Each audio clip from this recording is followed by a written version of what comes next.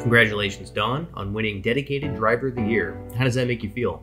It's it's an honor, it, definitely an honor. But the organization has plenty of top-notch drivers, and you know I represent all the. I'm sure there's some better than I am. So.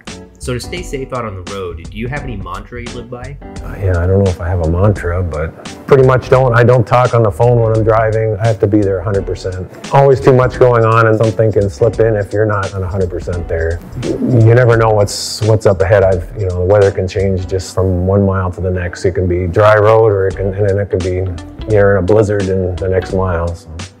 Why do you prefer dedicated? I mean, besides getting home every weekend, which I like, I also like working for one customer. So we kind of get to represent that customer and get to know people at the plant and the warehouse and then also the customers. So I feel like you can maybe make a little bond there and maybe that way help serve them better. I'm Don Wilson. I drive CFI.